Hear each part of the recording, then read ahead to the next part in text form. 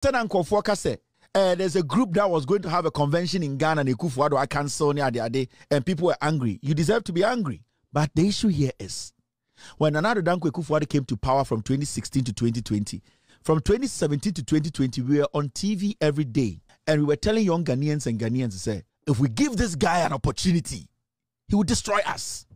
We were telling young Ghanaians because the issue is if we had all come out to add our voice in 20 from 2017 to 2020, Nana Dankwa Akufo-Addo and the NPP would have never gotten a second chance. So when I see young men in Ghana today saying they are leading a force, they are leading a force you can never lead a force when you are being led by a tyrant. Never. Let me state this again. A third force can never succeed in Ghana when you have a tyrant as a leader. So, when I was listening to some of you with the pain in your hearts, we have created this because we had the opportunity to allow people who understand and believe in democracy to lead us, to give us the opportunity to tell the world that we young people can also lead after them. The person who is leading the democracy today, you see or think is democracy, does not believe in the democracy.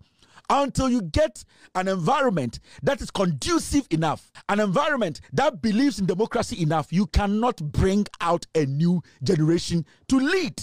So, our mistake was sitting back and making it look like we there we are fine. Let the foolish ones do politics. And another Dankwa Kufuor penetrated and entered the cracks.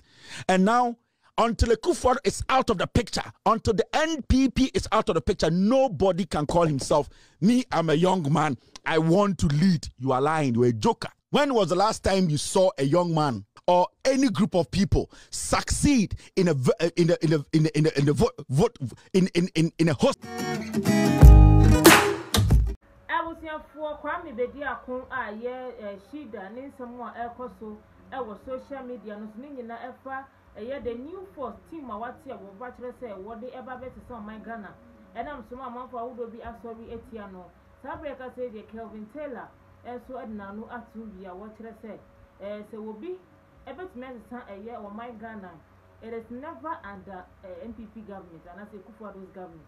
Ɛntumi ɛnyɛ possible saa sɛ ekufuado ne government na yɛyɛ ankasa president nana addo dankwa ekufuado ɛne npp government yi it is never possible sɛ obi bɛtumi arrive sɛ ɔbɛsesa wɔ man ghana agye sɛ yɛnya leader papa a ɔbɛtumi agree with the people ansana wɔ ɛyɛ adwinkyerɛ bi anaasɛ wowɔ ɛboɔ bi a ɔbɛtumi ɛde aboa ghana.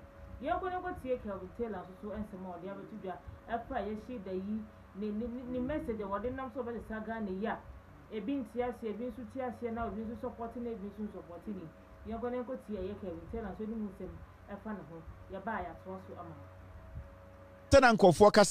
uh, there's a group that was going to have a convention in Ghana and Akufo-Addo I cancel ne ade ade and people were angry. You deserve to be angry. But the issue here is when Nana Dankwa Akufo-Addo came to power from 2016 to 2020, from 2017 to 2020, we were on TV every day and we were telling young Ghanaians and Ghanaians to say, if we give this guy an opportunity, he will destroy us. We were telling young Ghanaians because the issue is if we had all come out to add our voice in 20 from 2017 to 2020, Nana Dankwa Akufo-Addo and the NPP would have never gotten a second chance.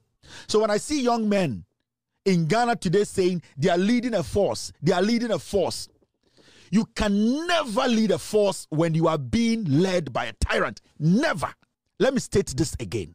A third force can never succeed in Ghana when you have a tyrant as a leader. So, when I was listening to some of you with the pain in your hearts, we have created this because we had the opportunity to allow people who understand and believe in democracy to lead us, to give us the opportunity to tell the world that we young people can also lead after them. The person who is leading the democracy today, you see or think is democracy, does not believe in the democracy until you get an environment that is conducive enough, an environment that believes in democracy enough, you cannot bring out a new generation to lead. So, our mistake was sitting back and making it look like we there we are fine. Let the foolish ones do politics. And another Dankwa Kufuor penetrated and entered the cracks. And now until Akufo is out of the picture, until the NPP is out of the picture, nobody can call himself, me, I'm a young man, I want to lead. You are lying, you're a joker. When was the last time you saw a young man or any group of people succeed in a in a in a in a, in a, in a in, in, in, in a hostile environment? You can't. You cannot build a democratic group inside a hostile environment. You can't do it.